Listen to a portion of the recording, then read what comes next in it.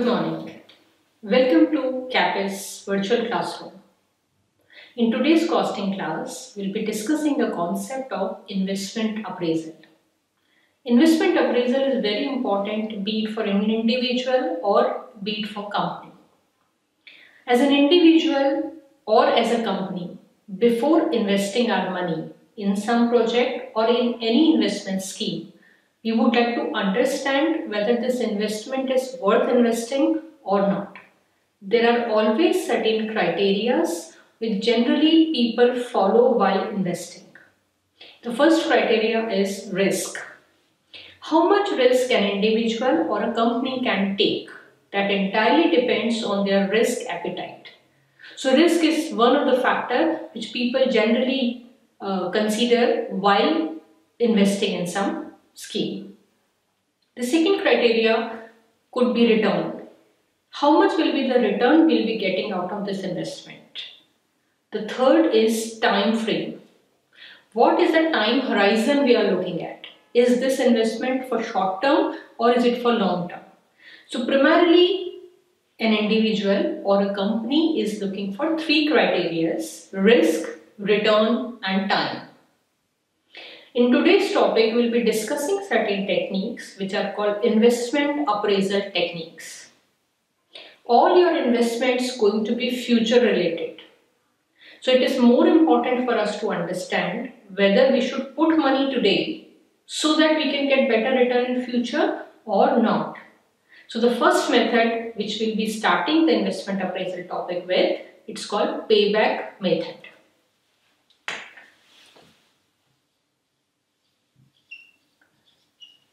The payback method is a method which is the most frequently used by small investment.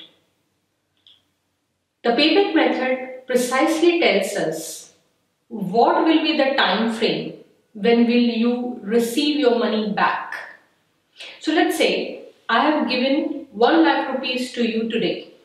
My next question is when are you returning my money back? The answer is payback period. Payback period is a period where company gets their investment back.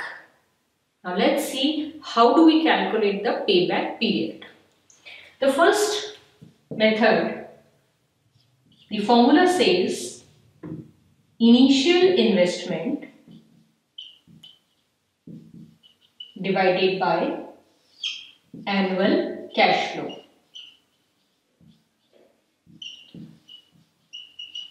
For example, we have invested $100,000 today and we expect that every year the investment will generate $10,000. So our payback period in this example is going to be 10 years. In 10 years time, you can recover your money back and that says the payback period. In this example, we assume that our cash flow every year is going to be same. But practically, it may or may not be possible. Generally, you cannot expect exactly same cash flow every year. In that case, we cannot use this formula. Rather, we will be going for another method which will be used for uneven cash flow. The name of this method is called cumulative cash flow method. So this cumulative method is part of payback period only. It's just that in payback there are two type of methods which we follow. One for equal cash flow which we used here and another is for uneven cash flow which we shall be discussing now. What if, if a company is expecting uneven cash flows in different years? How do we expect in those cases? Now let's talk, about those methods.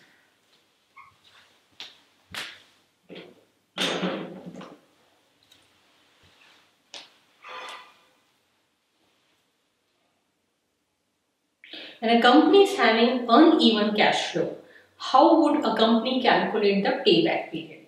Let's say, let's write year, let's write cash flow and then let's write third column for cumulative cash flow. Let's assume in year 0, year 0 stands for present year. So in present year, company invested $100,000. That is why we are putting in brackets because it's a negative cash flow. Company is investing in this project. The cumulative cash flow for year 0 is going to be 100,000 negative. For year 1, let's assume a company is going to receive $50,000. How much will be the cumulative cash flow now? Exactly, it's going to be 50,000 negative.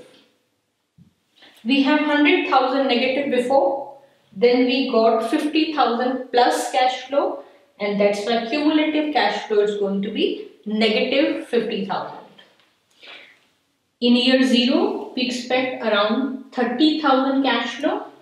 So our cumulative cash flow will be now 20,000 negative. In year 3, we expect around 70,000. And that's where our cumulative cash flow will go as 50,000 positive. Now in this case, as see that in money has been recovered between year 2 and 3 somewhere. In year 2, we had a negative cash flow, cumulative cash flow 20,000. In year 3, we had positive cash flow of 50,000. That means there was a time between year 2 and 3 where your money got recovered. Now let's be precise and calculate what is the exact timeline where money got recovered. So in this case, company actually got 2 years for sure because till 2 year the cash flow were negative. That means 2 year was minimum payback period. Then it's time for us to calculate the months and let's see how do we calculate the months. We take last negative figure which was 20,000 in this case. Immediately after that we had a positive figure of 70,000. So 70,000 will be put in here multiplied by 12 months. I repeat 2 year because the company was having negative cash flow up till 2 years. Then we took last negative cumulative figure which was minus 20,000. Immediately after that we have a positive cash flow of 70,000 and that's been multiplied by 12. When you solve this you will get exact period 2 years and these many months and that's exactly is your payback period. So in our first example our payback period was this 10 year Whenever company has equal cash flow, we follow this method. Whenever a company has uneven cash flow, we use this cumulative method. That's about payback method. As we can see, this is a very quick and simple method. But this method has a very big flaw. The method does not follow a concept of present value. Let's understand what is the present value? The present value is the value of money in today's time.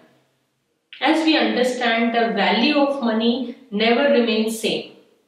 With every year, with every passing day, the value of money is deteriorating. And this concept is about time value of money. We are sitting in year 0, that's present year and we are expecting the cash flow for year 1, 2, 3 and so on. When I say that next year my company is going to get $10,000, will this 10,000 be worth 10,000? No, it will be much lesser than that. Reason being, there are a lot of factors in the market such as inflation and other factor which does impact the value of money. With every year, the value of money will go down and down. In payback method, we do not consider the time value of money. And that's the biggest flaw a payback method has. For simple calculations, we can certainly use this method but for more complicated situations and for serious decisions for future, time value needs to be considered. So now let's try to understand the concept of time value of money. Now it's time for us to understand the concept of time value of money. As we have discussed, the value of money never remains same. It changes. And that's exactly we call that time value of money. I'm sure you may have heard the term called future value and present value. So I'll tell you two methods how we can calculate the present value.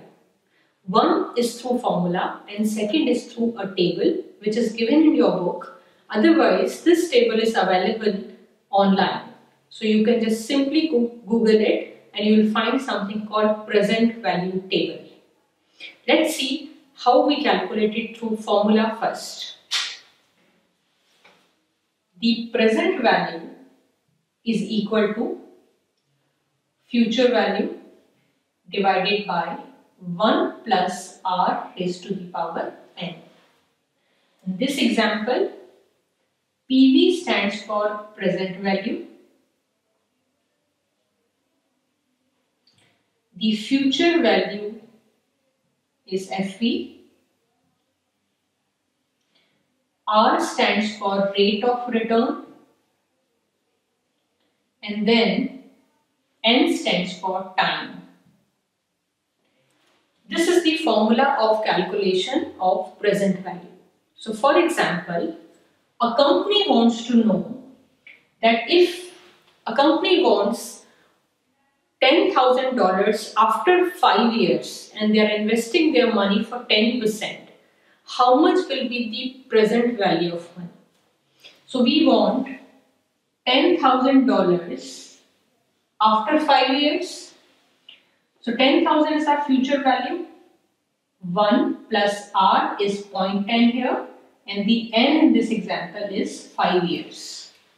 When you solve this question, you will get the present value of money. If you want $10,000 after 5 years at the rate of 10%, how much is the present value of the same? We also, now in this example, we calculated the present value. In this case, if present value is given and all other factors are given except future value, can we calculate that? It's a missing figure question. Suppose 10,000 is the present value. We do not know the future value.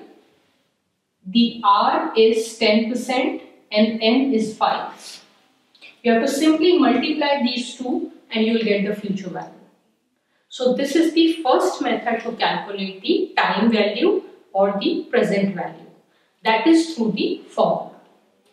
The another method could be simply you can go online and find a table called present value table. Let me tell you how to see that table. Once you get the present value table in hand, you will see on top there will be different R's 2%, 5%, 10%, 15% and so on. When you look at your left side, you will find the number of years, year 0, 1, 2, 3, 4 and so on. So if I say calculate the present value factor for 2% for 2 years, you have to see 2% from the top and 2 years from the left side. This is how we see present value table. Now when we understand the concept of time value of money, let's solve a question and understand one more method of investment appraisal which is called present value method. Now let's understand the method called present value method.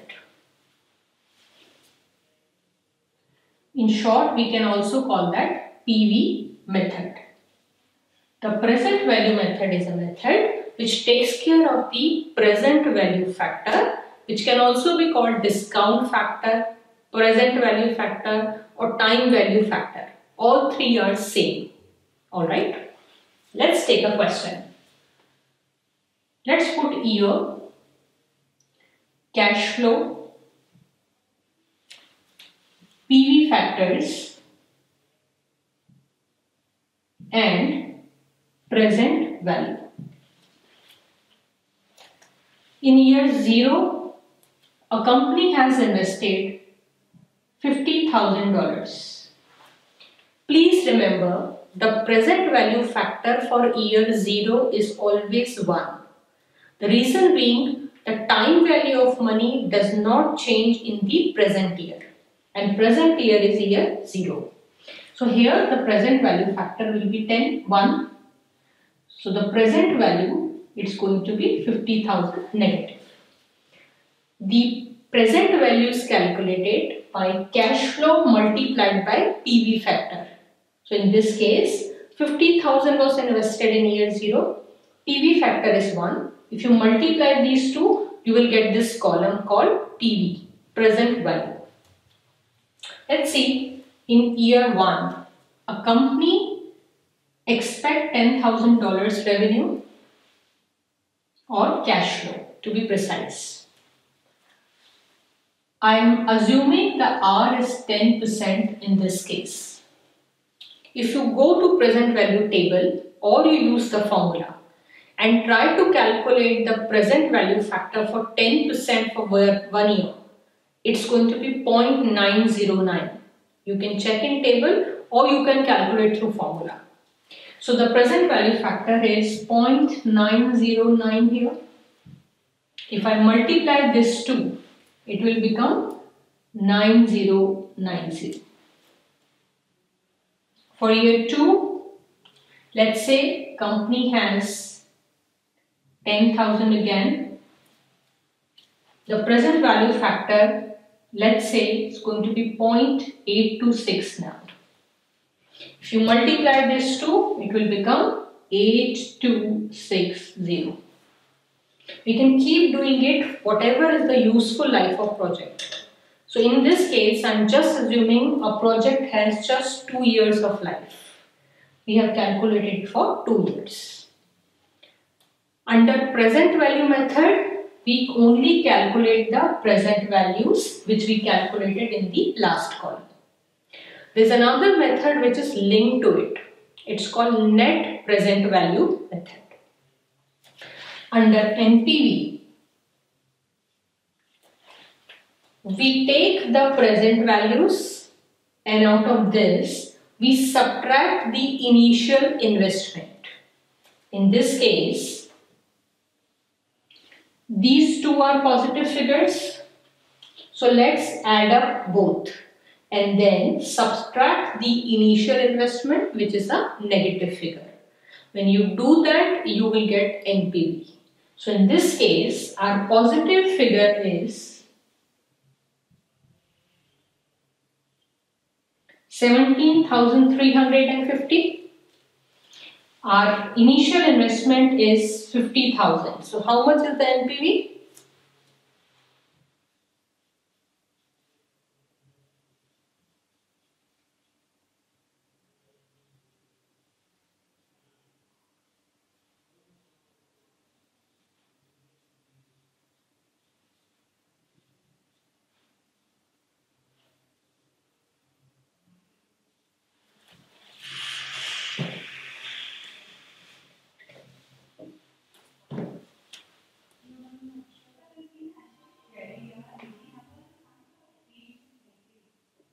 So now our NPV is 42,650 but this is negative. Our present value is lesser than our initial investment. Now when we have understood this calculation of present value and net present value, let's understand what is the decision criterias, how do we select investments. Let's go back to our initial method which was payback method.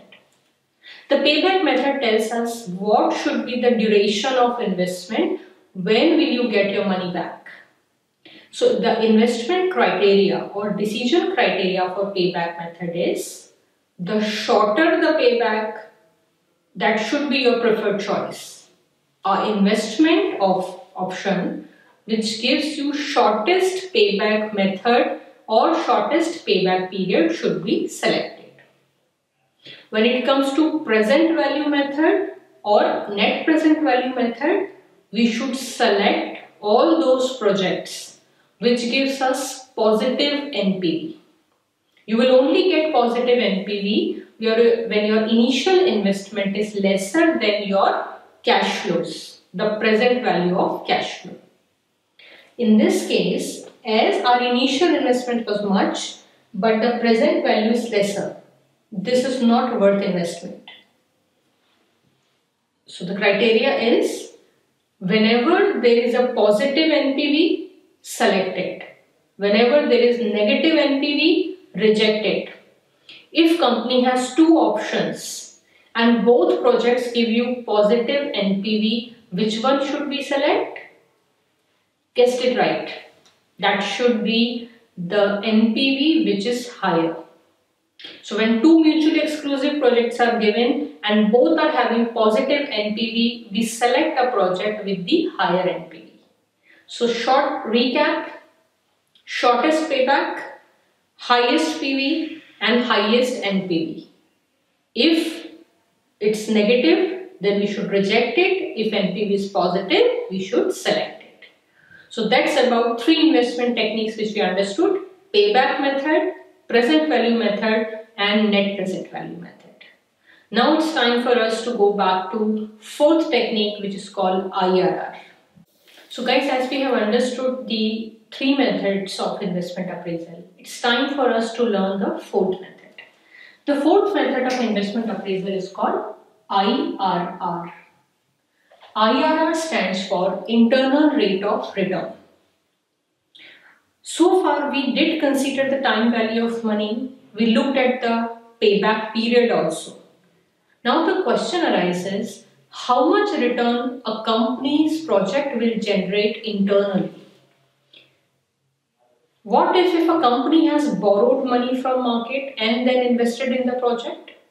So ideally, the return should be higher than cost of capital.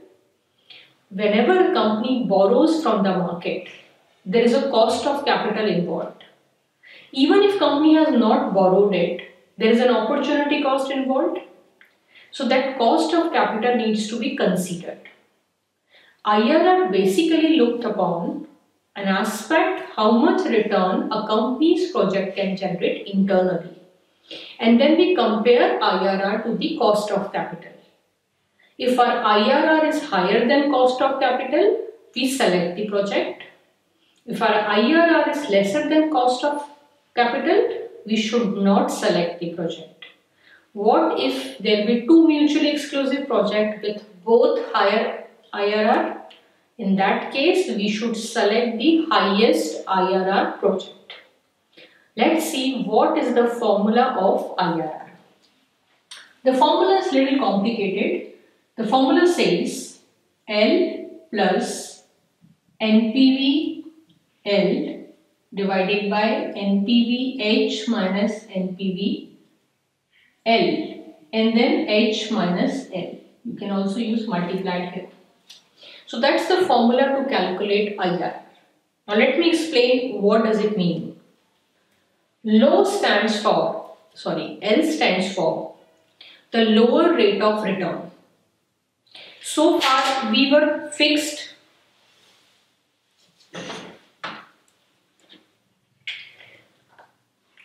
So far, we decided a fixed R, but practically the R may not be that fixed. So let's assume two R's from the market. One is lower, one is higher. For example, 5%, 8%, 10%, 12%. Any two R you can select.